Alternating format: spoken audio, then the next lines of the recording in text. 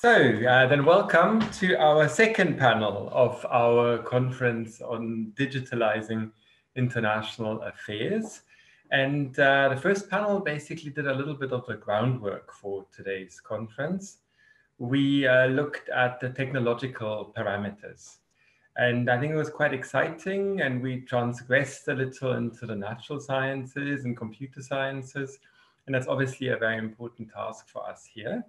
Um, but now we zoom in more onto the question about what actors, what international actors do with these digital technologies and how does it actually change the dynamics between these actors.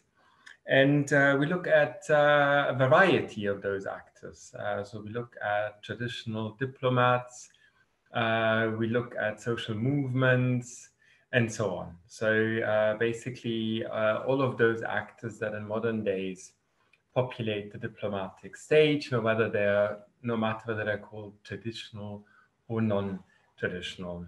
Um, I have uh, beforehand quickly introduced uh, all the presenters already. I'll just uh, very quickly do that again. We're going to have uh, four talks. There is one on tech diplomacy by Clara Blume and Martin Rauchbauer from Open Austria.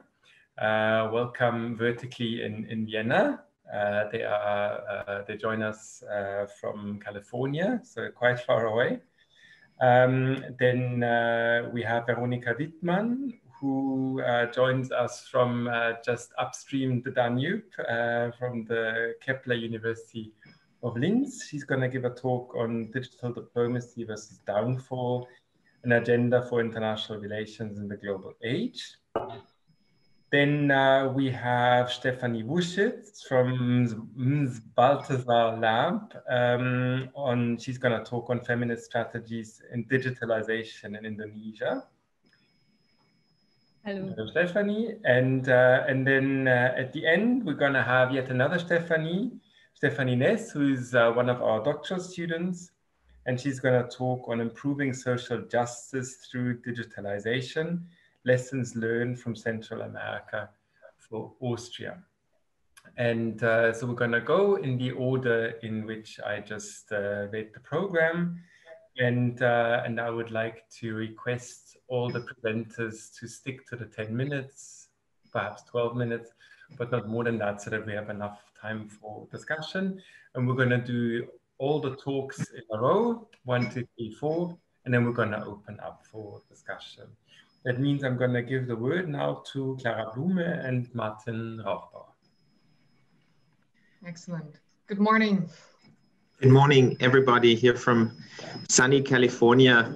Uh, very early morning here. We have a nine hour time difference here um, from Open Austria, which is a government uh, initiative that we would like to present to you as an example, as an early example of what we call tech diplomacy, a new way for nation states to engage with the global tech industry. And in the first panel, we heard uh, a lot about science diplomacy, scientists engaging uh, in diplomacy. This is about traditional diplomacy, uh, about diplomats uh, engaging with technology in a new way. I'm a career diplomat of the Austrian Foreign Ministry. I do not have any tech background uh, and was sent in 2016 uh, to open up uh, Open Austria. And I'm now the Austrian tech ambassador and one of the two directors of Open Austria.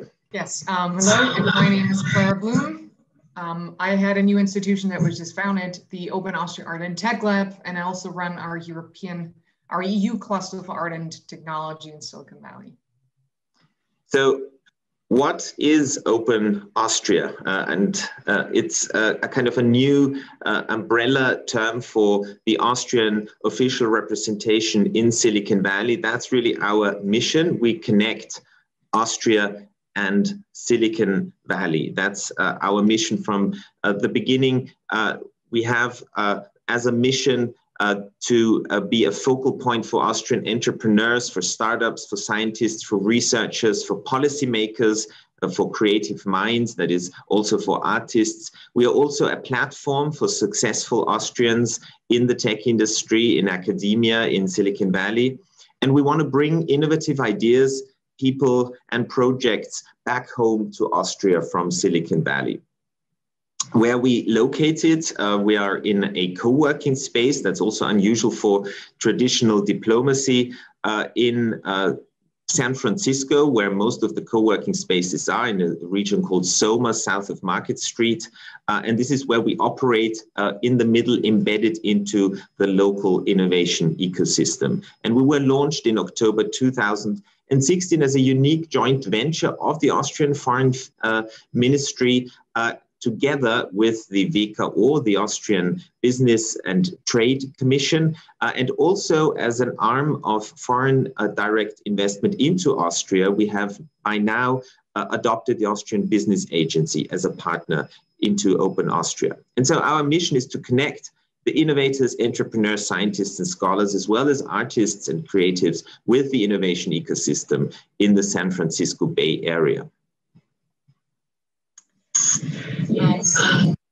I'll take over from here. So Silicon Valley, perhaps a couple of words on the region where we operate in. It's clearly the world's largest and most important innovation ecosystem. Um, it formerly it um, was born more in the South Bay. That's the original Silicon Valley. As you can see, where still the majority of companies are located at.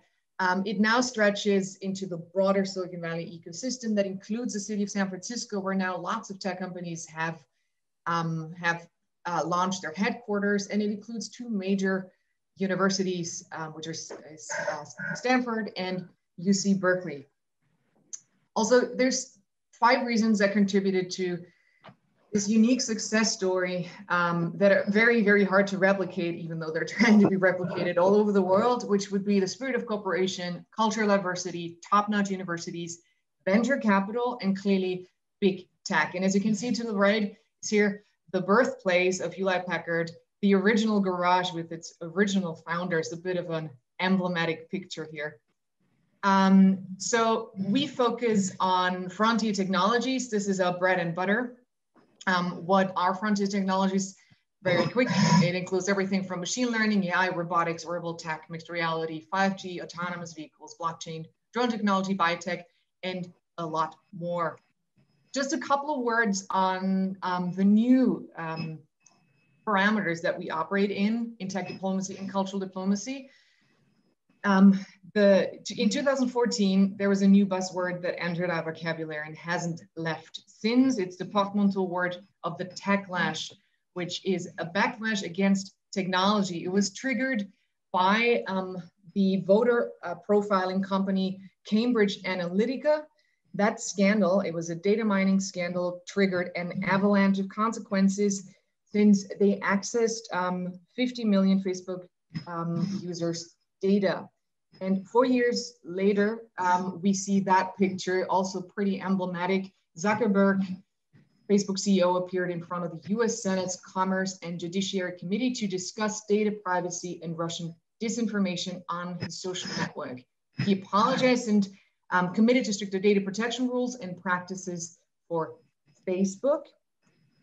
And I'd like to quote um, this passage from the Senate hearing, which has become almost a meme at this point. So Zuckerberg is questioned by Senator Hatch, and Senator Hatch asks questions now. Mr. Zuckerberg, I remember well your first visit to Capitol Hill back in 2010. You spoke to the Senate Republican High, Task, High Tech Task Force, which I chair. You said back then that Facebook would always be free. Is this still your objective? Zuckerberg responded, Senator, yes, there will always be a version of Facebook that is free. It is our mission to try to help connect everyone around the world and to bring the world closer together. In order to do that, we believe that we need to offer service that everyone can afford. We're committed to doing that. Hatchberg answering, Hatch answering, well, if so, how do you sustain a business model in which users don't pay for your service? And the emblematic answer, Senator, we run ads. And that basically um, was the beginning of sort of a watershed moment uh, where not only um, consumers, but also policymakers realized that there's no such thing as a free product. And if there, if it is, um, then clearly the consumer is product. And so um, that was a moment where we started to advocate um, as a European Commission for, um, as a European unit for much more data literacy among consumers, but also policymakers.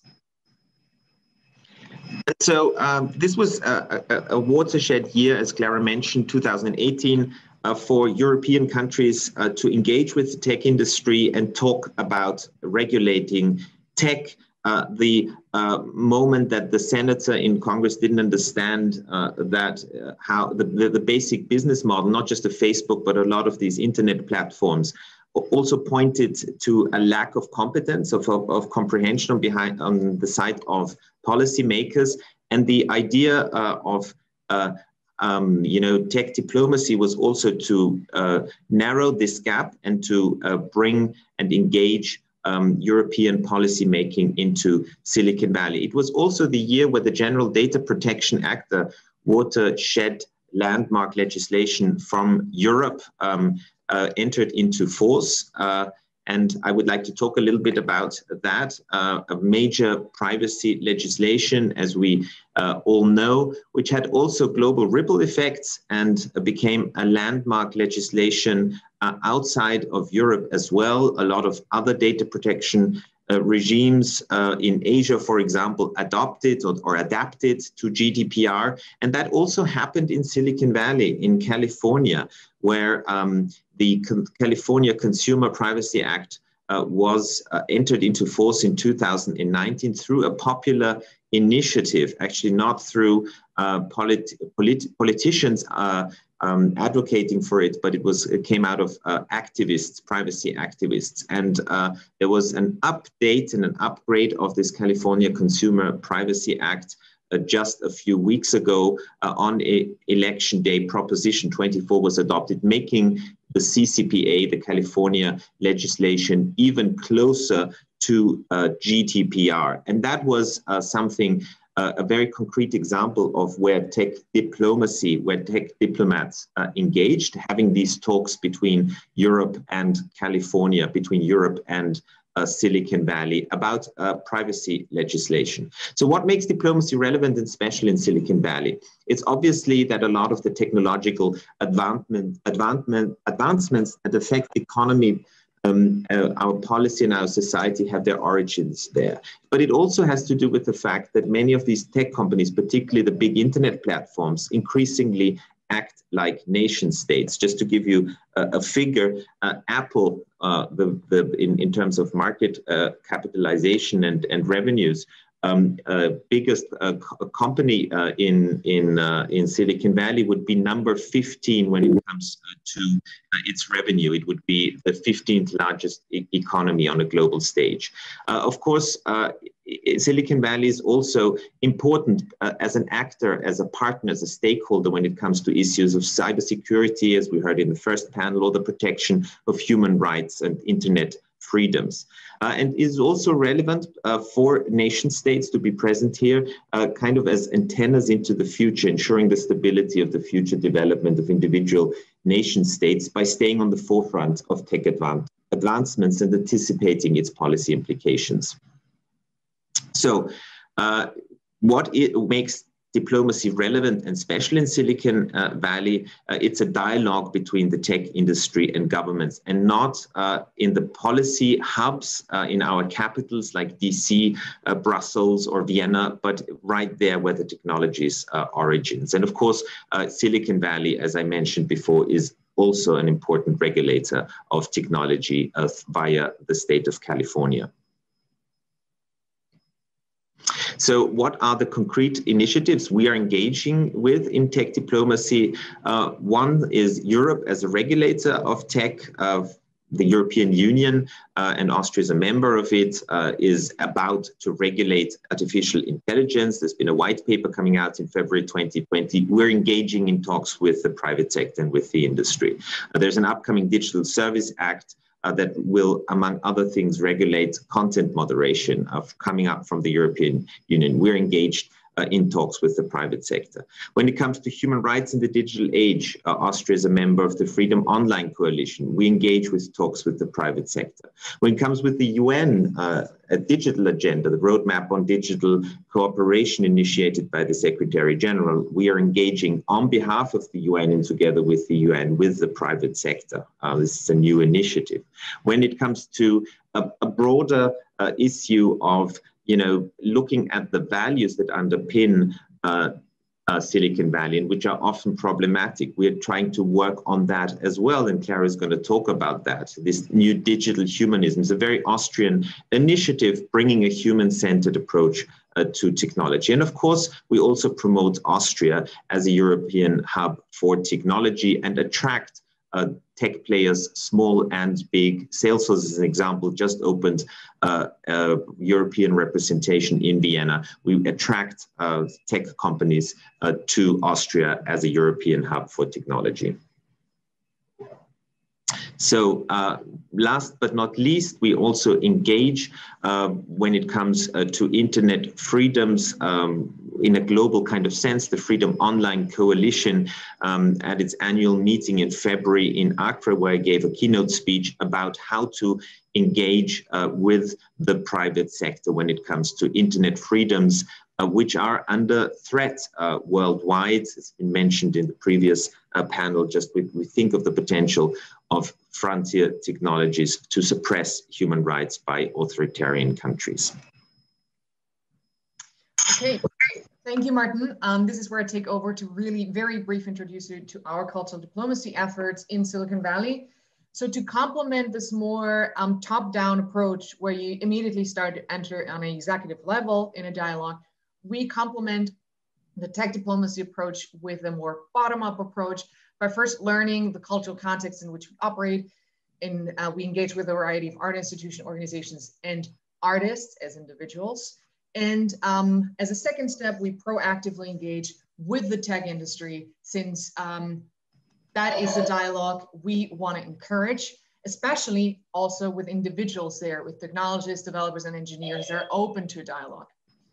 The third step would build uh, would be to build sustainable networks of a broad variety of contexts from both Europe and the US, especially the Bay Area, to help strengthen partnerships, um, peer-to-peer partnerships actually, between artists and technologists. And the fourth step might be the more um, experimental, which is to start pilot projects where we place artists within tech R&D teams to shape technology at its core, where we clearly uniquely positioned here in Silicon Valley and perhaps to name one successful pilot project would be the successful Austrian-German author Daniel Kehlmann was successfully placed um, within an AI lab in Palo Alto, where he worked with a technologist on a natural language processing tool that was meant to help creatives um, trigger the creative process.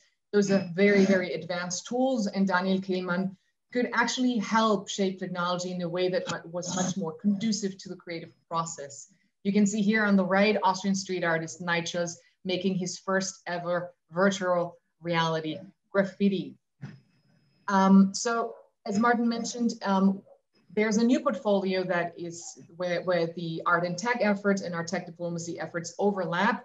It's an Austrian initiative, one could say, of the digital humanism so um, this is really a sphere where cultural diplomacy can be a powerful instrument to advocate for universal um, human rights and to preserve what we call a human dignity that is a threat um, in the current environment. Um, and so if you see artists as cultural ambassadors that can really promote a more inclusive, just, and human-centered technology that um, is at the service of all humankind, then clearly artists um, can step up to the role and um, be much more proactive. And so when it comes to the human machine interaction, we've seen that it is important, it's imperative that right now we focus on um, a more diverse and more inclusive creation, implementation, and adaptation of cultural tools.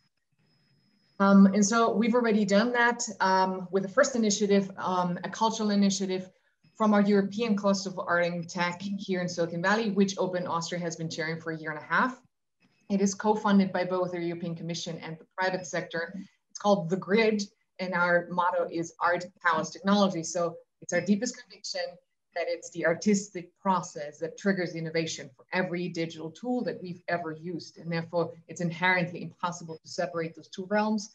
Um, and our initiative, The Grid, focuses on connecting art, tech, and the third silo, policymakers. So this is really a triangle. Um, we've done so at a launch in 2019. As you can see, no one's wearing masks, so this is a different age still. Um, together with Google, Mozilla, OpenAI, all the big players were present, and everyone was actually advocating for this digital humanism. Um, we've launched a festival in the midst of a pandemic. It's called Exposure Art Tech and Policy Days last September with 16 partner organizations. Um, one of the most prestigious ones um, has recently launched a movie on Netflix called The Social Dilemma, which I recommend to everyone because it pretty much explains the ecosystem in which we operate in. We did this, and as Austrian, pretty proud of it, in cooperation with the Ars Electronica Festival as the official AI music garden Silicon Valley. So that was a festival of four days with 26 events and over 100 speakers from 12 countries, where we had everything entirely virtual, art panels, interactive, interactive experiences, live performances, immersive tech, and workshops on the topics of AI and creativity, for example, universal basic income for the arts and a very ambitious um, tech diplomacy portfolio called Taming Tech, which Martin leads. You can see the entire festival on our website, getonthegrid.org slash exposure. Um, please get on the grid, contact us and check out the initiative. And with that, I say thank you for your attention. Thank you very much for your presentation. I think there was a noise, but it's, it's gone. Thanks a lot for your presentation. And I'm going to hand over straight away to uh, our next presenter, and that's Veronika Wittmann. Well, thank you very much. Um, a warm welcome from the city, actually, where Ars Electronica Festival is uh, situated, from Linz. I would like uh, to talk on digital diplomacy versus downfall, an agenda for international relations in the global age. Uh, my background is coming from a social scientist perspective, and I'm teaching global studies at Kepler University of Linz. Let me just start by uh, mentioning um, global challenges um, endangering humanity, influencing world politics and international relations.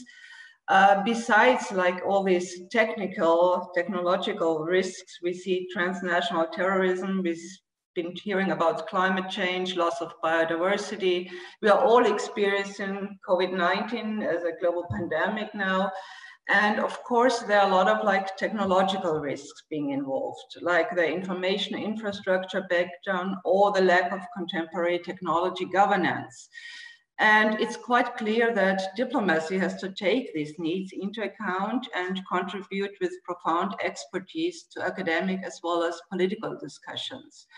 A basic assumption here is that any nation state related or disciplinary solo effort will not provide adequate answers how humanity can manage and cope with these global risks in the 21st century.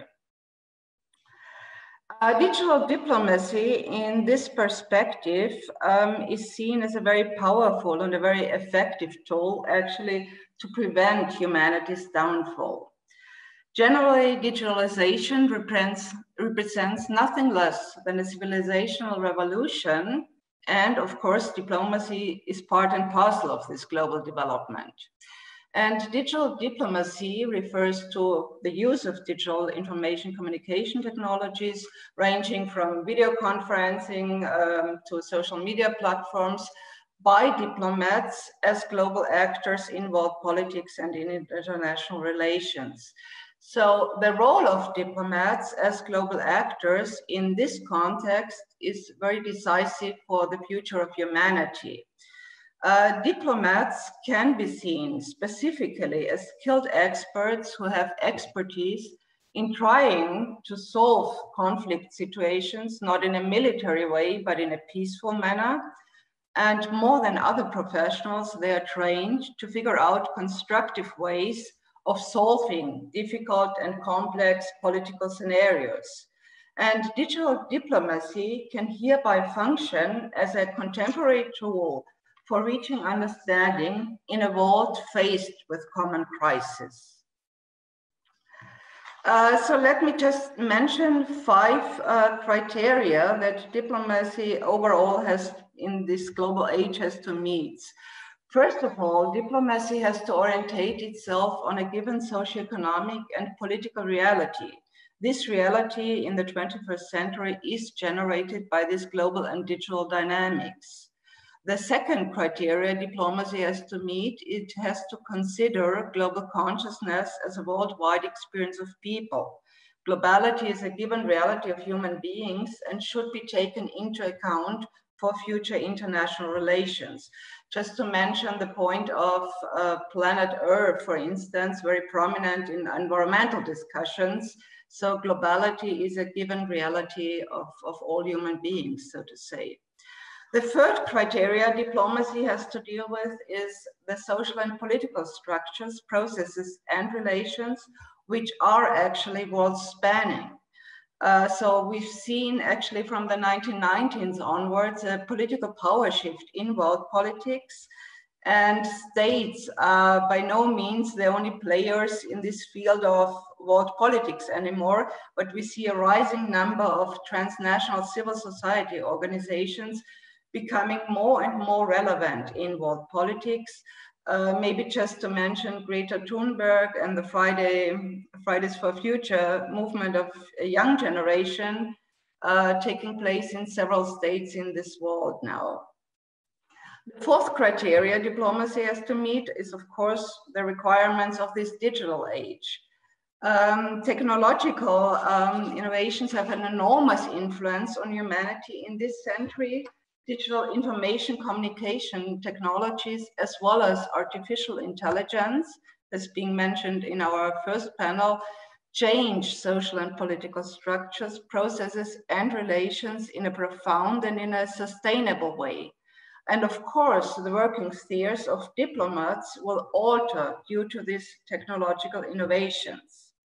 And the five, fifth criteria, the fifth point that um, is mentioned here is that diplomacy has to actively participate in digital processes and in a visionary claim of a global turn in politics. So digital participation is an essential of contemporary uh, diplomacy and part and parcel of this global turn in politics. In this sense, thinking of these five criteria, diplomacy in current times has to perform wide-ranging tasks. Let me just um, come to this visionary claim of a global turn in politics and uh, diplomacy's contribution towards this undertaking by considering political development trends in the 21st century. Uh, these visionary claims are based on three main assumptions. First of all, as I mentioned in the beginning, the challenges for humanity in this area are enormous. So global crises uh, shape humanity and human life all over the world.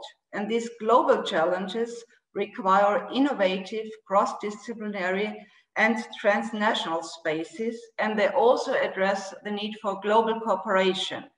So no academic discipline or no state alone can just cope with these challenges. For instance, if you think of DARKNet, um, this underlying network, uh, it already changed political power in a traditional sense of the word. So no nation state in the world, however strong it might be military, uh, in military terms, no nation state can cope with it on its own. And the same, it requires cross-disciplinary approaches. So rapid technological changes will cause the substantial transformation of human life in this century.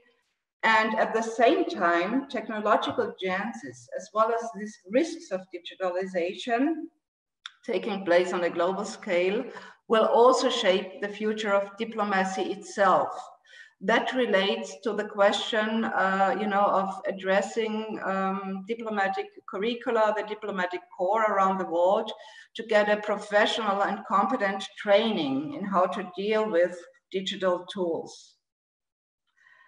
Uh, and then the third assumption here is diplomacy uh, is a key player in developing a global plan for humanity.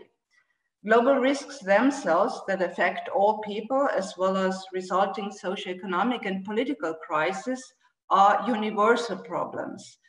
Uh, information and knowledge in dealing with this global crisis must be shared globally by diplomats as global actors, and diplomacy must provide expertise on perceiving the dilemma of global discordance involved society and involved politics confronted with this global crisis.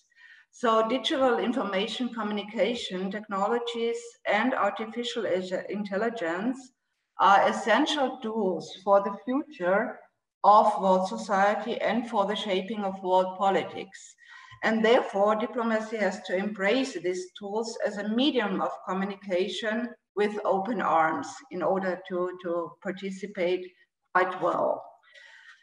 Uh, let me come to my last point. Um, I think, um, like as a future scenario, digital diplomacy can make significant contributions in the global age by taking into account an understanding of diplomacy that is open to face the challenges of humanity confronted with global risk, transnational similarities, and rapid technological changes. And what is needed in this century to give adequate answers to the challenging questions of humanity is shared knowledge in dealing with global risks. As such, a global turn um, in politics. And of course, this will not be an easy task at all, but I think it's diplomacy's most promising way of offering humanity its expertise in this area. And it will be a universal agenda at the end of the day.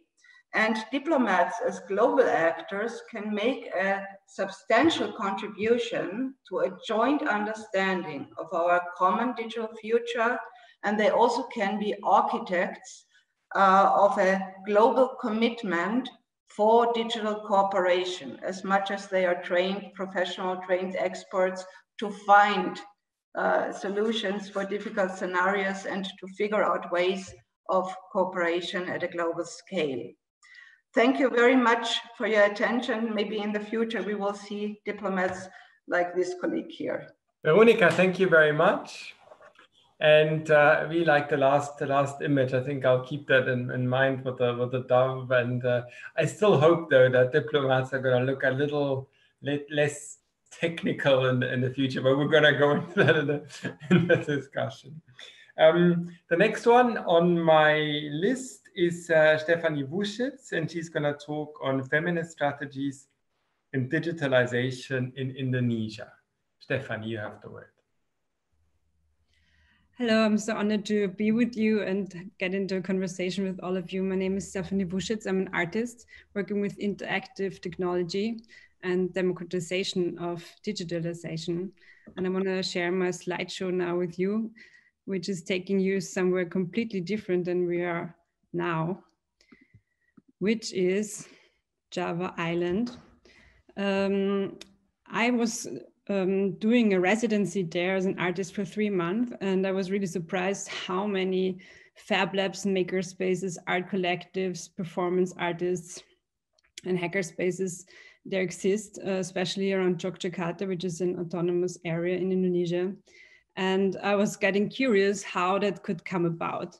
And I started to um, dig deeper into the history of Indonesia. So in Indonesia, there was very early feminist activism already. A lot of different organizations from different religious groups and ethical groups always came together for one big congress, women's congress, already in 28. And uh, they were also very important in getting independence. So it was a lot of women involved into the independence war of 300 years colonizing being ended through the foundation of the Indonesian nation state. Uh, Indonesia has a very rich and uh, very diverse culture. Every island of these more than 2,000 islands has its own language and culture and tradition. And uh, especially on Java, there's this tradition which is kind of written into the DNA of Javanese uh, urban culture that people organize on a grassroots level in local groups. It's kind of an old system of microcredit groups, an old system of mutual self-help from um, teaching each other skills, um, sharing things, redistributing goods. It's a kind of grassroots governance. And these very close-knit urban um, village uh, slash structures, they uh, enabled people to be very resilient, although there was first colonizing for 300 years and then there was um, a lot of trouble uh, in the continuous uh, history of Indonesia. I'm not a historian, I'm an artist. So please excuse me if it's not completely accurate the way I try to sum it up. But um, the first president of Indonesia was Sukarno, who tried to um, bring together these very different groups in Indonesia. There was a, lot of really religious people, a lot of really nationalist people who were very enthusiastic about this new independent state. And there were a lot of communists uh, in the country. And he tried to make this NASAKOM, how he called it, like this merging of the three um, powers, which uh, in the end he failed because the military took over. But I don't want to get ahead of myself. Sukarno was very much like a social democrat, I would say, very much like Kreisky in Austria. and he supported these female organized groups that were really kind of taking a lot of responsibility off the government's shoulders by organizing really well on a grassroots level all things that you would need from um, public service from uh, waiting babies regularly to check the health uh, until like organizing funerals if the family was overwhelmed like it was the whole lifespan organized through these women uh, centered groups and the most important group that was becoming uh, most relevant is Gerwis, which was founded in 1950 and later was called Gerwani. And that's what I'm researching on for my postdoc at the TU in Berlin. Um, Gerwani uh, was the self a group of self-confident women of Indonesia. That's what the uh, shortcut means. And the woman who is standing there is not just anyone. Um, she is the very first minister, minister, social minister in Indonesia, she, Maria Ullfah Santoso. Uh, she was already social minister in 1946, 10 years before there was a female minister in Austria. And she was also the first person who was a woman and made a degree in law. And she was typical, actually, Gerwani founding members because a lot of women who got into universities at that point organized themselves. And they also joined forces with farmers and they joined forces with workers. Uh, and they tried to find shared goals. For example, they were against polygamy, all of them. They got them all really mad that they would not have any say about their uh, belongings because of polygamic law, marriage laws. And um, what they did is they went to small farms, to small rural areas and made literacy workshops. Um, and in these literacy workshops, they found out a lot about the struggles of people on the countryside. And because they implemented that into their agenda as an NGO, they increased tremendously. They had, after 10 years, 1 million members this feminist organization. It was not a political party ever, but as a feminist organization was the biggest women's organization at that point in the world. It was the biggest women's movement in the world in Indonesia. Um, so uh, Gerwani was uh, very much born out of this um, enthusiasm of starting your own nation state and being independent from colonialism. So they were very clearly against all kind of new imperialism and foreign capital they really wanted uh, people to own the Indonesian mines and own the Indonesian gold and Indonesian copper and Indonesian um, export. Uh, so the Indonesians wanted to own their own factories. And they also condemned the coup d'etat that already happened on Sukarno earlier. Um, what, what really put them all together, all these different groups of women in Indonesia was this fight against polygamy and abuse against women. And they also set up a the first kindergartens and the first social structures of schools uh, to prevent violence against women. It was very much orientated towards Denmark and, uh, and um, um, pedagogy in Denmark back then. Uh, they had uh, also media, but not as strong. The, most of their work was done through this peer-to-peer and peer production, but they had this Api Kartini magazine that had a lot of DIY and education um, sections. Um, the thing is that uh, at that point, Sukarno, the president, was seen as being on the side of the U uh, of Russia in the Cold War, and um, Joseph McCarthy, who was at that point Senate in the government in the US, um, was really concerned about uh, Indonesia maybe becoming communist. The Communist Party was not the strongest party in Indonesia, and also Sukarno was not communist. He had his own party that was um, more like social democratic, as I said, like Kreisky. But um, McCarthy was um, intervening into the Indonesian politics in hope to um, prevent Indonesia from continuing its path on the kind of wrong side of the Cold War. Um, and also Lyndon Johnson, who was the president at that time and who was famous for escalating the war in Vietnam, first uh, had decided to uh, send weapons to separatist groups uh, in Indonesia that would um, subvert the Indonesian government and uh, also trained generals in the US. Um, when it came to Richard Nixon, um, he really uh, joined forces uh, with with people who tried to get rid of Sukarno. Uh, also, the Australian diplomat uh, was kind of warning that Indonesia should not be economically so successful as it is at the moment, because otherwise it will be hard to continue making business with Indonesia. And this women's organization became kind of a perfect enemy uh, because this women organization was uh, really large. they really wanted autonomy and um, the communists didn't like them because they were against polygamy uh, and and um, they just had a lot of enemies inside the countries too but ma mainly also the big players outside of the country who, who really wanted to have their hands on the mines um, so when richard nixon um, joined forces with milton friedman um, there's now evidence that they uh, kind of decided but please don't name me down. I'm not a diplomat, I'm an artist, uh, to bring Suharto into office. Suharto kind of pretended that there would be a coup d'etat and Gerwani, that feminist movement, was insulted, was accused to have um, brought a, a, couple of Gerwani members into the general's home and killed them and cut off their penises, which is completely nonsense. It's now evidence that there was never something like cutting off penises, it never happened.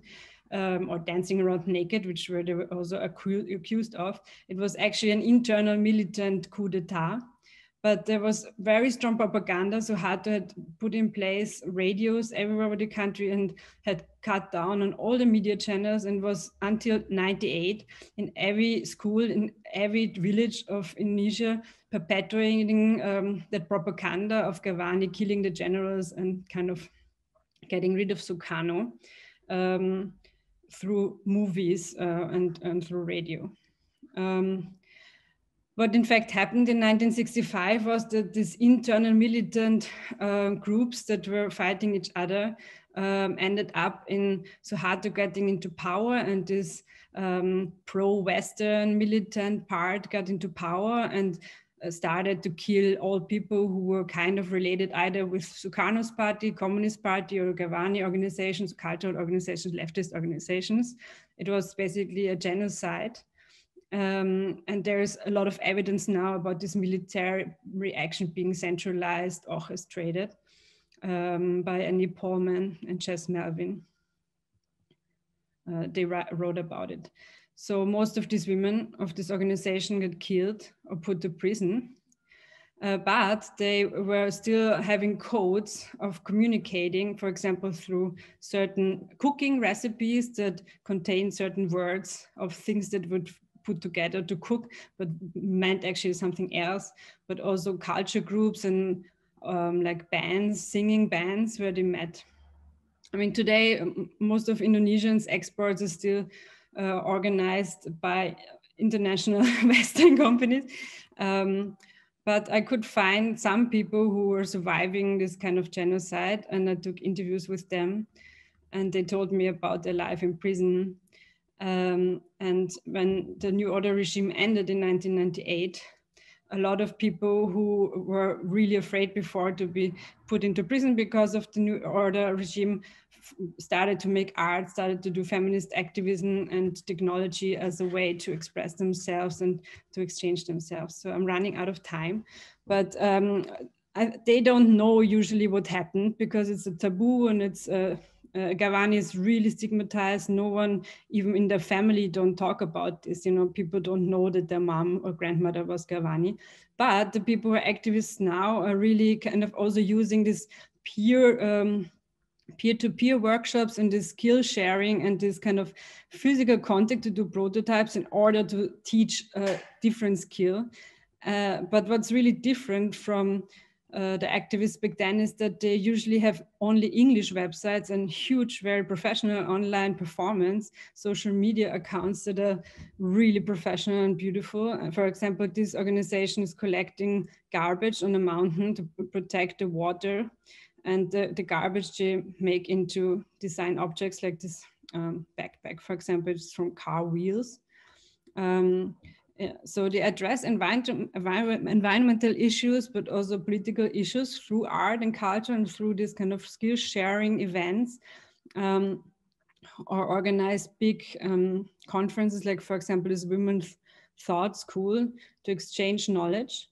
Uh, but usually it's all um, directed towards an international community and no one in Indonesia hears about it. I mean, it's really rare that something is really directed to an Indonesian audience people really not trusting Indonesian uh, national uh, media. Um, okay, I'm sorry, I'm totally over the time, already two minutes over the time. I just wanted to mention this activist. She's um, uh, she started these workshops uh, for women how to weave in the traditional way with uh, natural materials. And she had 150 women for one year sitting on this land that the mines wanted to take but um, they kind of occupied the land weaving. Um, their husbands took over all the reproductive labor at home, took care of the kids, took care of all the things that women usually do there, like preparing medicine from forest uh, plants. And after one year of occupying this land weaving, they actually had that mine uh, give the land back to her, uh, to, to these uh, communities.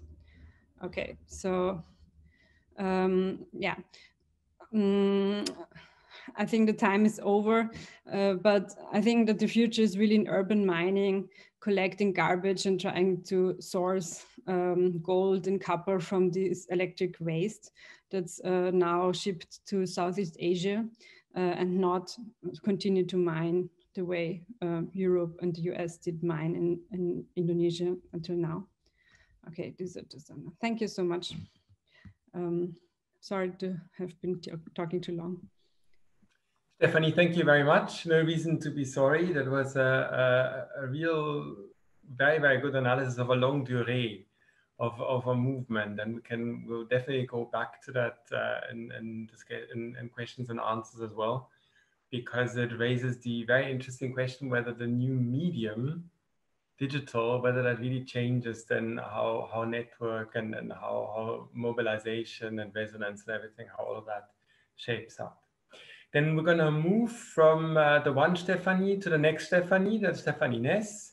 And she's going to present on improving social justice through digitalization, lessons learned from Central America for Austria.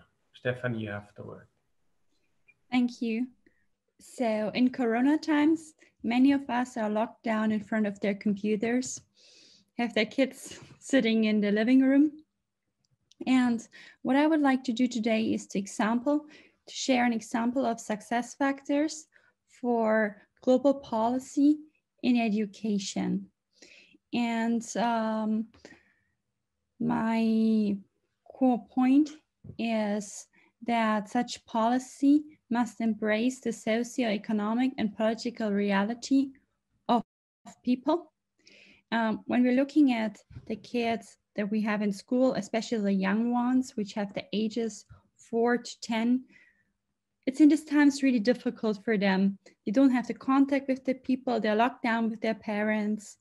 Um, parents are not um, educated to um, care for their kids um, in a professional context, like to make them learn. Usually everything's arranged in different ways. Now, um, when we're looking at the stance that European states have taken between, I would say, two years ago, 2017, 2016, about um, procuring digital technology for schools, then uh, this has been uh, there's been quite a lot of different opinions. Now, when you're checking newspapers, you're seeing a lot of people arguing for purchasing more computers, purchasing new materials, purchasing a lot of um, different items to make this learning easier and to make the um, things better also for working mothers. Um, this goes so far as that there are that there are suggestions that you can find in many articles in newspapers of uh, procuring technology for eye tracking so you can actually see and get feedback on uh, whether people is listening to make it easier for educators um, which technically yes it's possible the question is how much does it help to measure the Euclidean distance between the eyes uh, of kids to see whether they're listening. Does this like attention that we've so much focused on in the last 30, 40 years really leads to learning? And um, in order to uh, partially give you a, a, solution from Central America or points that such policy has to address, I would like to share an example um, of how um, a school project became more successful um, and what are the lessons learned in terms of human computer interaction and in terms of digital instructional technology. And I'm going to show real pictures now. This is actually more than uh, 10 years ago taken in Guatemala. This is um, Distrito 10 uh, in uh, Guatemala, it's a quite poor uh, area where like a lot of families are living with their children. They have many, like the space is very limited. Um, there's a lot of uh, socioeconomic problems because all these kids, they live with their families in very close spaces. A lot of people are unemployed. There's a lot of stress usually for the kids when they're at home and there was a small school project and it didn't scale and i became part of that school project and um, at that time um, organizations that um, that are like basically supporting uh, supporting yeah development um, had tried to um, in uh, invest into school technology, like giving them computers, putting them into a school, but it was very small scale, and they were not so successful. It didn't work because the kids, after two three days from this project, they would stop going. Mostly, um, investigating this further, it was uh, because um, when you place people in something like that um it's it's helpful but uh, it's a start but it's not like um solving everything to give them computers and to stream something. And um the point that it was not solving was the point of their parents and because of their socioeconomic factors because the mothers would ask them to go to work or they would make them stress at home or they wouldn't be catered. So also there was financial issues. You cannot this is hundreds of kids you cannot uh, finance the school education uh, with no money for hundreds of kids and um, the solution that we partially adopted was to put a was to put a chocolate factory in place in Guatemala to uh, for two reasons. The first reason being that um, the being that they needed finance, but the second reason was to actually make an important part of the stakeholders, which is their parents, part of the success pro success of their kids and to give them accountability in the whole procedure. And uh, with this policy or measurement taken on a small scale, um, it was the foundation stone of actually putting and scaling the program. Um, because and addressing those points that uh, you cannot fully solve with um, technology, which is basically the human element. So um, this point was, it's a real picture.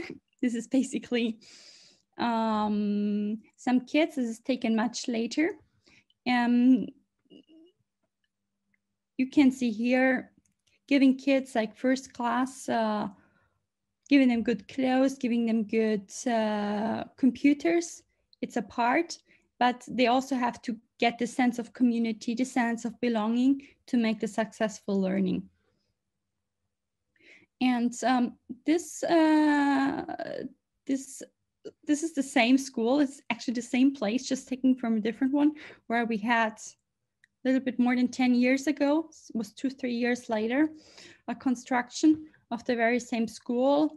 You see here better facilities, still third world facilities, but uh, in terms of in terms of like the content being taught to those children, it's on par, or it was already at that stage on par with what you learn in Germany in a primary school after I would say four or five years. And um, when you look at it, this is another three years later, it looks completely different. It's the same place. It's the same trees, it's the same place.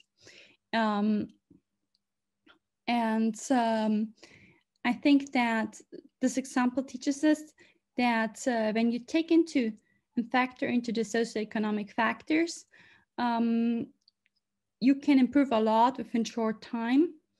And it's not only about distributing technology because the learning is evenly distributed and from that um, together with uh, psychologists, which were local, and with other ones, we developed a model for the learning to scale up the education for the small children. So basically, when you look at small children, you always have um, an input when you're dealing with technology, and it's very simplified. There's a lot of literature on, on it, but I would like to focus on the essence. You have a lot of this uh, commentation, but basically, when you're having a small kid, you first need to eliminate the other factors which may distract from actually being open to learning. And uh, once you have that, you uh, have different channels for small kids. Those included audio, pictures, text, and videos. Um, those are mostly being taken by this program, but also by similar programs that are that have been streaming where internet access is not available in the program that I was part of. Internet access was freely available you take in this audio via sensory processing. That's very similar to how computer takes um, information in. You take it in with your ears, you take it in with your eyes, or you do uh, tactile processing.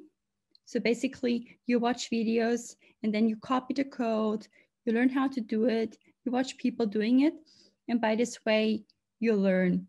Then you have the working memory, which is very similar to how we do this today, or like from the concept, it's very similar to uh, how we do today machine learning, because when you're getting um, information in your ears, there's a certain part which keeps there.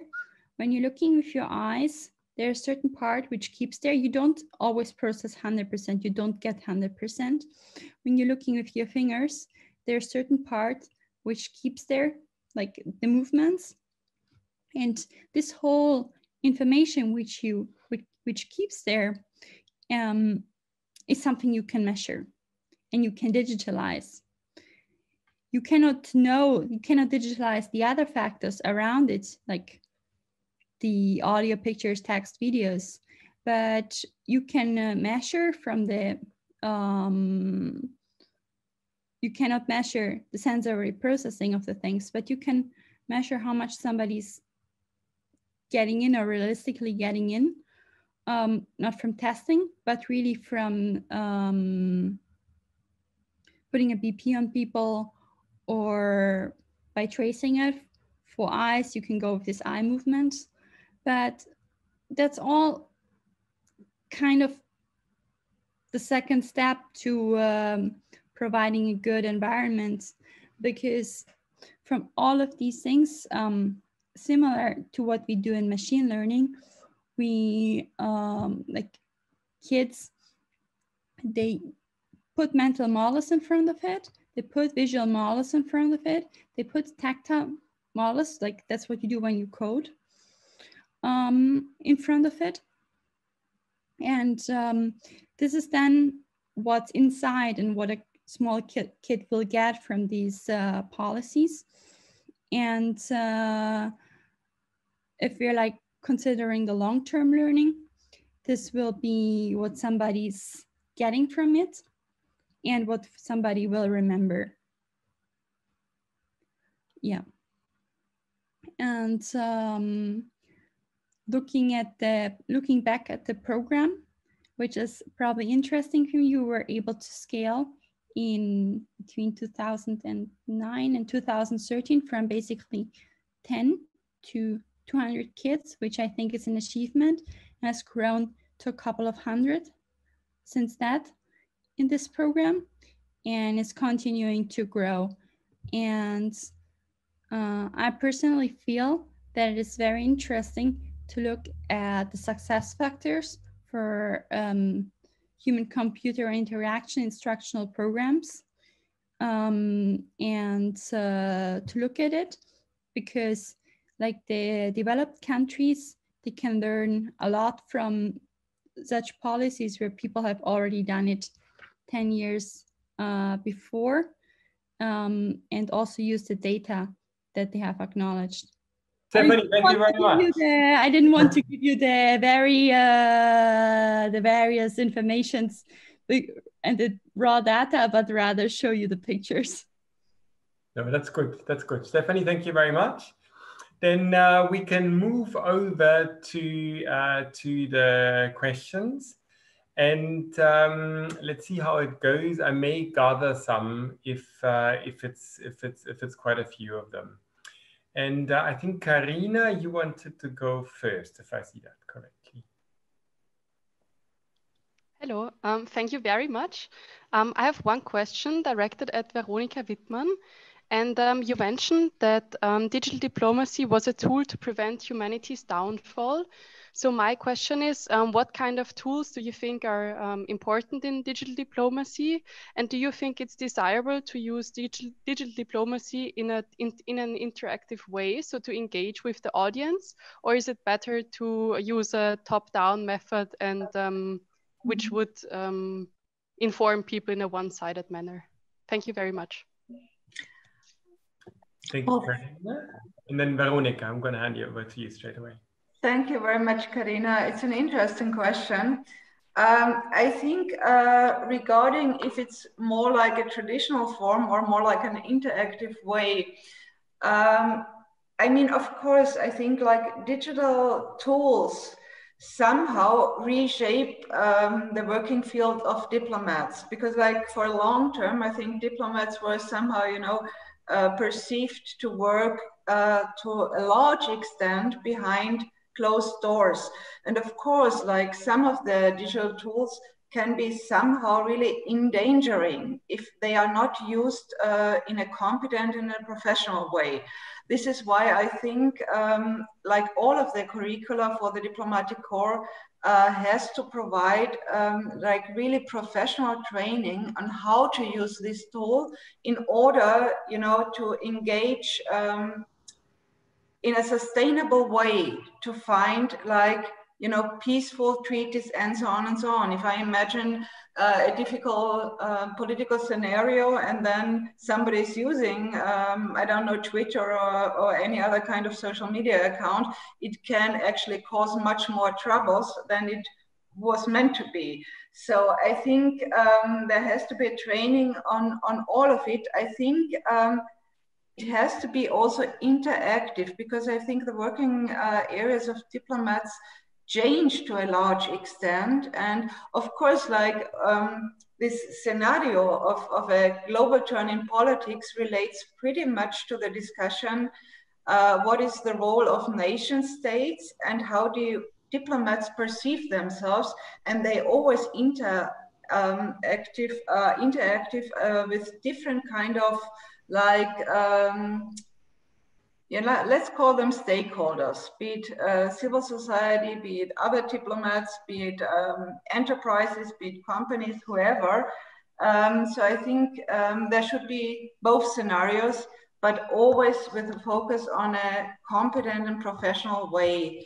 And as an agenda, I mean, maybe uh, to, to clarify this point, we talked a lot on science diplomacy as well and digital diplomacy. I think one of the main uh, focus point of both of science diplomacy uh, and digital diplomacy is that scientists as well as diplomats can really be perceived in this century as being global actors. So they always somehow transcend um, this kind like of closed borders or, or containers, or how to say. So they might be still, you know, um, affected in a nation state context or in a regional context, but at the end of the day, they transcend these borders. And they can be, like both groups, I think scientists and diplomats can be seen as an epistemic community.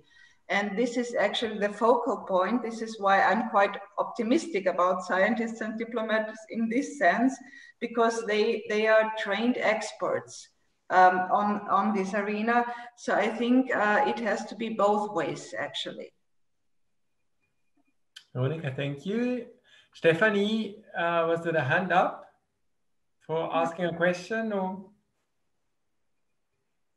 Um, I, I was teaching a lot of tech courses for interactive technology for using microcontrollers. And I had the impression that uh, the most effective thing is if people are doing it hands on and really use it and apply it in order to understand what's happening and develop this kind of computational thinking to understand how code works, how machines think because I think there's a really big difference if you train an AI mechanism and feed data and uh, give a certain amount of uh, a variety of data to that machine, then if you work with people, with kids, there is creativity going on, there is um, interpretation and projection going on. So I think Mm, I, I, didn't understand how, what you mean with learning technology in a, in a way that it cannot be misused because I think technology only de develops further and gets used by uh, getting maybe used in the wrong way, you know, or used by someone who makes mistakes and someone who applies it. Martin Rauchbauer also had his hand up for quite a while, and we talked quite a bit about diplomacy, so there's no wonder.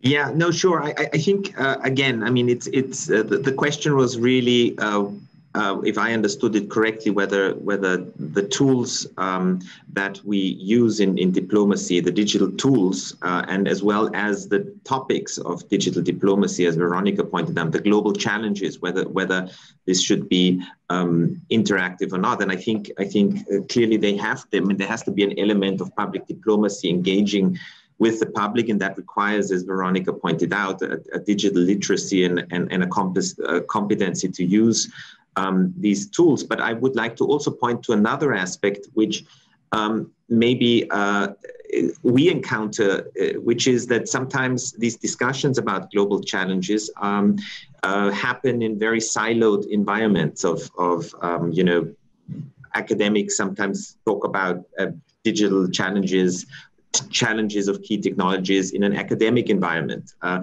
and then uh, diplomats talk about it in a, in a multilateral uh, environment, in, in some multilateral organizations or forums at the UN.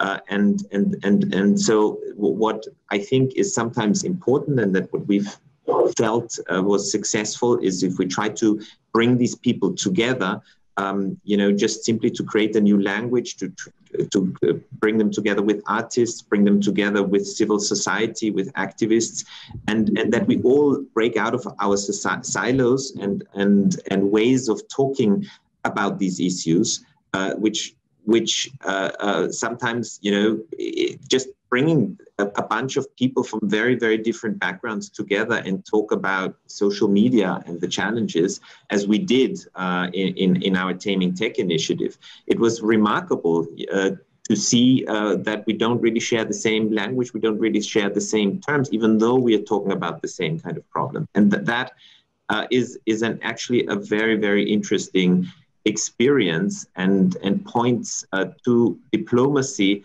uh, also as um, you know potential mediators, facilitators, bringing different siloed uh, worlds uh, together uh, in order to talk about the same issues and problems. And in a way, this uh, Open Austria is very well set up for doing that, right? I mean, I find it quite fascinating so that you're represented by on the face of it two different professions, right? So the, the, the career the career diplomat on the one hand and, and the and the artist on the on the other. Um, and may I may I abuse my my my moderation uh, position here to ask questions my, myself quickly, and um, and I have a few. So I'm just gonna go through them and then and then and then I'm gonna hand over the word to you to to to respond. And I'm just gonna go in the order in which you you presented. Um, so Martin, the first one would be uh, for you. There's been now in the questions and answers, also in Veronika's talk, quite a bit about what digital means for, for diplomacy. Uh, in your opinion, in terms of uh, in terms of what digital changes, what actually changes about the diplomatic profession? What actually perhaps should change in terms of how we train diplomats? That's also quite an important question actually for, for us. Um, Clara, um, you're basically doing a triangulation there almost in terms of your role. So there's something about the arts, there's something about technology, and there's something about diplomacy. And I would just like to know how easy you find it to bring these uh, to bring these three together. Um, to uh, Veronika, uh, in terms of uh, digital diplomacy, there is sometimes this, this argument by practitioners and by theorists actually of diplomacy that uh, that digital diplomacy, yeah, in a way is a, is a, is a good aid for, for a few things, but there is also the problem that the personal touch is not there. And, uh, and so there's this, this kind of uh, meeting somewhere over coffee quickly or, or smoking a cigarette or something. So things that can actually change things quite a bit. And say in multilateral negotiations, they're not there. I was wondering what you what you think about that? So basically, the mixture perhaps between um, digital diplomacy and and the, and the, more traditional diplomacy as we are used to it. Um, Stephanie Buschik on the Wuschitz, so, sorry, on the on the um, uh, on the Indonesia part. Now, I thought it was really fascinating because you have this longue durée study and there is this there is the social movement and uh, and it networks and organizes itself differently uh, over time. And, uh, and, and to some extent then probably reinvents itself. And my question was just whether you think that um, that judging by this by this in-depth case study whether this this this digital reinvention channels doings practices in certain directions rather than others so whether it's actually the medium that really makes a, a difference there, or whether or whether it's just the, the, the agents, in your case, the women themselves. And um, uh, the other Stephanie, Stephanie Ness, the the uh, a question for you that, that that that is just always on my mind. Actually, quite a few books and a background about that. So, so um, education to some extent, especially particular subjects, that happens still very much along uh, the lines of the nation state, right? So, schools. Uh, one of the covers of the books about find out show it is is uh, basically schools tell the pupils uh, about their nationality and what they're supposed to stand for and all of that. Um, then Veronika before was talking about peace, and, and, and one of the, the great uh, theorists of peace, Johan Galtung, also somewhere there in the background, says this is exactly the problem that we have. Yeah, so that the, that the education is, is very much, the whole imagination is very much along the, the lines of the, the nation state. And it's basically an, an advocacy uh, to, to, uh, to move education along uh, to uh, towards a more international outlook. And I was wondering what you think about that uh, and whether you think that digitalization would offer any opportunities for doing so. So there was a lot of questions. I'm sorry. I think I'm gonna I'm gonna hand over to Martin straight away, and then we're gonna go down the down the. Right. I will try try to be brief. Uh, the question was really about um, the trade of diplomacy and diplomats and how uh, much change is required. And I think um, if, if you think of, of, of, diplomats and, and what they're good at, they're at the same time specialists uh, in some areas like international law or international relations um, or political sciences, but they're also generalists. They, they often have a, a bird's uh, a, a, bird's view, uh, a bird's eye view uh, on on global challenges and global uh, topics. And so, even if you think of a topic like technology or digitalization, which do require um, a certain amount of literacy and knowledge, or at least understanding, uh, for example, how artificial intelligence works in a, in a very rudimentary way, uh, if you talk about its implications on international relations. I think what diplomats can add and bring to the table is this very generalist view. Uh, and uh, in that sense, and maybe it's pointing a little bit to what, what Veronika said um, about the potential of, of diplomats, uh, of being actors of global change, I think they're, they, they bring an added value with who they are and, and, and what, they, what they bring to the table, uh, even to uh, topics like um, new, new technologies. So um, the reality is when when when I look at my my colleagues, a lot of them are scared off by technology um, uh, topics because they feel they're overly complicated and un, impossible to understand. So some colleagues shy away from these uh, topics and issues. Uh, but I think that's a mistake uh, because what is really needed is a generalist view, an overview of the big picture, uh, and bring that to the table when we look uh, at the implications of technology. Thank you. Well, um, picking up the baton here, um, yes, as Martin has stressed, the question of diplomacy in the fourth industrial revolution is an ongoing debate. Where to place it and which role diplomats have in this in in this field. Um, with uh, Veronika talking about digital diplomacy, us talking about tech diplomacy. And there's another very important factor, which is cultural diplomacy, which in my opinion has gotten more relevant um, um, over the last 15 years or so. Within this new context that we operate in, um, as Martin has stressed, this is the moment for generalists. This is actually the moment, um, and I always like to use that term, the future is interdisciplinary. So I think one major interesting fact that um, um, surfaced over the last say 20 years is the fact that our very um, our society that is driven towards expertise um, is now finding itself in, in, this silification where we actually operate in very um, fragmented ways that often simply don't overlap. But we're seeing that the challenges that we're facing and not only with the backlash that we've now presented, but let's let's just say the major um, global crisis, which is clearly climate change, but also disinformation and other things that we simply can't um, fend off ourselves in our silos. And that goes out for scientists and academics to policymakers and or activists and artists. So this is the moment where we really need to join forces and um, advocate this um, new form of interdisciplinary transnational collaboration. And um, you asked the question of how do those three silos, art, tech, and policy relate, and how does this um, this abstract, um, um, um say, a collaboration actually work out in a tangible way? Um, we're still experimenting with this, and the first finding Martin has already stated, which is we often see that there's there's not even a shared reality that we can draw on.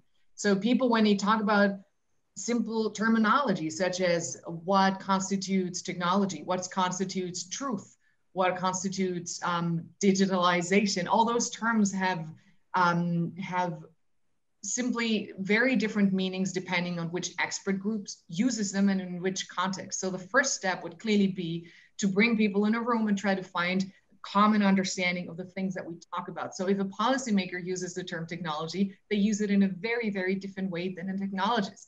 And so if an artist um, starts engaging with the technologies, there's also a very different understanding because clearly a technology sees themselves as an artist. And so there's so many ways where at first, even to start um, working on a practical level, we need to create a shared reality. And from that, we can, um, you know, try to tackle those problems. And this is the way, honestly, that's our pitch, but this is where we really see a necessity for diplomacy coming into fruition and really taking up a space where there's currently a vacuum. Well, thank you very much for the interesting question on the personal touch is missing.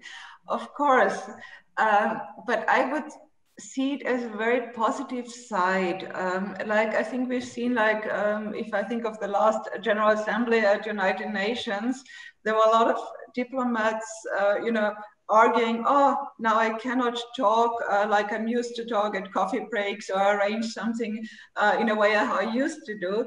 But I would be still very, very positive. Um, like um, I said before, I cannot imagine any other professional group really being more trained um, on, you know, entering like new arenas. I mean, diplomats, they always like sitting on a fence, no? They, they always look to the neighbor's garden, come back to their own garden. So I think um, for me, as a, as a professional group, they are really, really uh, the most experts in trying to find this global cooperation and trying to figure out what I would say is so largely missing up to now this governance structure in the digital world. So I'm very, very positive. and the other thing is only it needs um, a well education. This is what uh, diplomatic academies actually uh, should do all over the world. Uh, uh diplomats should be trained on using uh, like all these positive experts of, of these technological innovations in a professional way. This is why I was saying, no, no, no, not, you know, in order to attack somebody or in order to, to figure out difficult scenarios, but for transparency reasons, for instance, for interaction with citizens, uh, for an exchange in times of a global crisis, uh, to cooperate and, and to learn together and to find mutual agreement. And I personally cannot imagine any other uh, group so much being trained on this.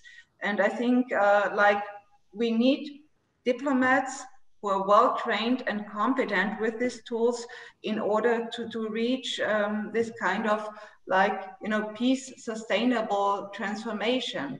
And i think really the challenges um, for humanities are really enormous and we will only manage it if we have this specifically trained expert like diplomats are. But of course, it needs a lot of, of training and of course, a shifting from a traditional working sphere to, I would not only say it's either or, use both of the tools.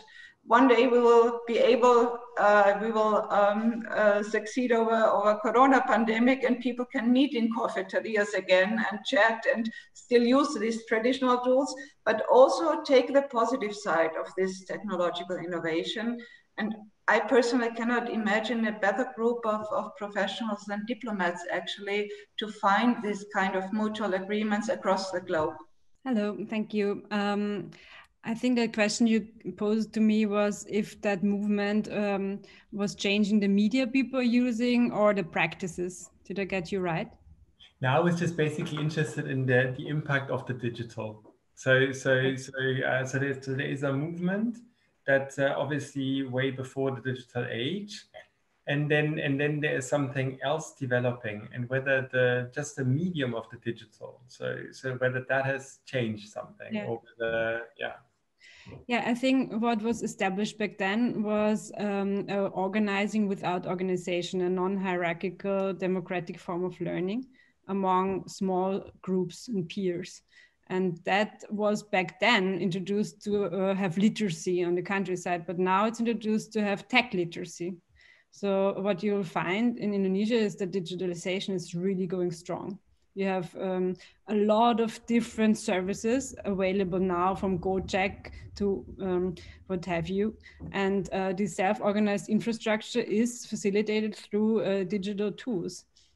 So open source is very important because people in Indonesia want to have personal adaptations to the personal challenges. Um, so the software has to adapt to their very specific um, context. Um, and I think on the larger scale, if you look uh, the bigger picture, it's uh, what I find there in the digitalization and in these all these initiatives in tech and also AI is the, a lot um, of conversations on ethics, ethics of knowledge transfer, ethics of knowledge circulation, ethics of exchanging skills. So that's why people have a massive online presence groups uh, are really visible through digital platforms, but you will not find them on site. There's no physical representation. There, you will not be able to see any room or house. The, it's it's all online because there was so much trauma about being persecuted for sharing your ideas and sharing knowledge. Mm. Did I answer your question? Or you did. You did. Thanks, Stefan. Um, your question, basically pointing at the books, I would like to dissect it into two parts. The first one being is how far the nation states can control their primary education systems in a world of the global markets that we're currently having and the supranational political organizations. And along with that, from what I'm understanding as a question is how distinctive will the national educational systems um, remain against pressures for international convergence. And uh, in order to answer this, as you have seen from my example and from current things, I feel that um, currently we're in a time where um, the state is not instantly losing influence over the education of kids, but as they're at home, there's of course less control.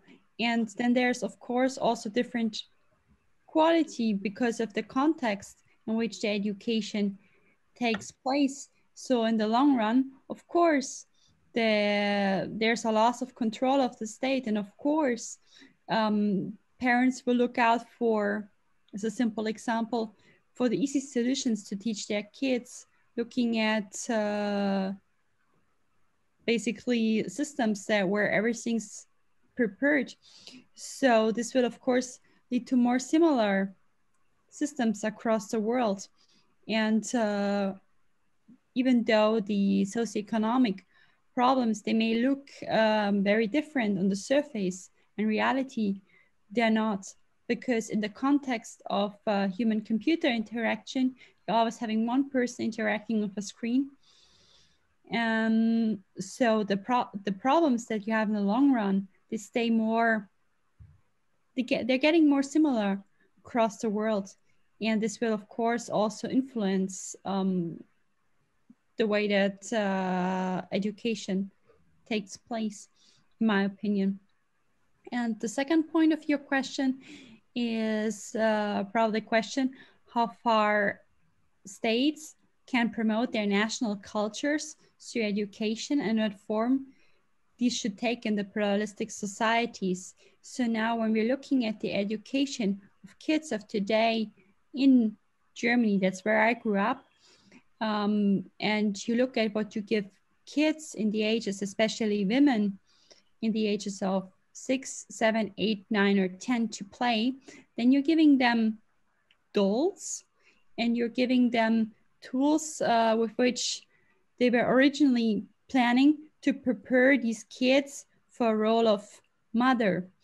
And when you're looking at um, the digital technology, what it can do, it can connect kids with different role models, can show them different, can show them basically the world.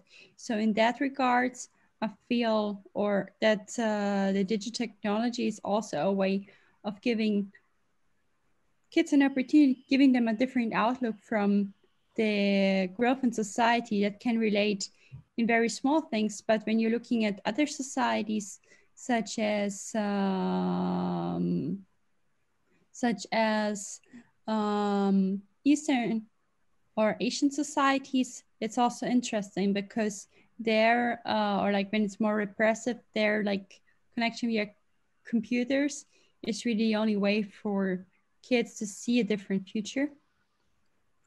And um, in that regards, there's also the uh, last question that I was trying to mostly answer with my um, presentation. And this uh, question is uh, whether European states see opportunities uh, in the digitalization, not only in terms of procurement, like procuring new computer system, like they used to procure the books 50 years ago, but also in terms of shaping society's values. And for this, it probably didn't elaborate so much. We can already see examples in Austria when we're giving kids, when we're giving kids um, the opportunity to um, to learn coding skills using small uh, robots, like Lego robots. And you're giving this to women. We're finding out that as a result of giving this to the kids, more of these kids, they later want to be programmers. They want to be, uh, they, they have confidence in themselves to choose technical professions. Not all will choose, others will have others' interests, but they at least have the confidence in order to do so. And in so far, I think that um, the digitalization um, doesn't only have like the educational potential, but can also shape um, shape um, yeah shape uh, society development and also feminist strategies such as Stefanie pointed out across the world. Thank you, Stephanie. we have we would have a little more time for discussion. I'm just going to read uh, a comment or summarizing a comment uh, by Mark Robinson. Again, Mark, thanks a lot for participating very actively here. And I'm just going to summarize quickly. So he points out, uh, agreeing with, Veron with Veronika, um, that uh, there's quite a history of scientists networking across state boundaries as epistemic communities. Um, he especially alludes to big science, uh, examples such as CERN or ITER, and, uh, and also uh, the current management or co-management of, uh, of the COVID-19 situation. Yeah, um, there's there's definitely something to that. I, I think so too. So that that uh, obviously our science networks, and with the world becoming more and more complex, uh, this, this, this boundary between politics and, and, and science that's going to be more and more important. And probably the blurrier it is, the, the better. So then, um, under normal circumstances, this would happen now in the Festsaal, uh, which is uh, about 50 meters away or so from here. There would be a big round of applause. So thank you very, very, very much for, for your participation. Perhaps special thanks actually to our Californians because it was, I think they had to get up quite quite early in the morning. And I did see a coffee cup or, or, or another uh, being, being, being drunk. I mean, I totally understand that. Thank you very, very much for participating. And uh, thank you very much also to the audience for listening in and, uh, and for asking questions and making comments.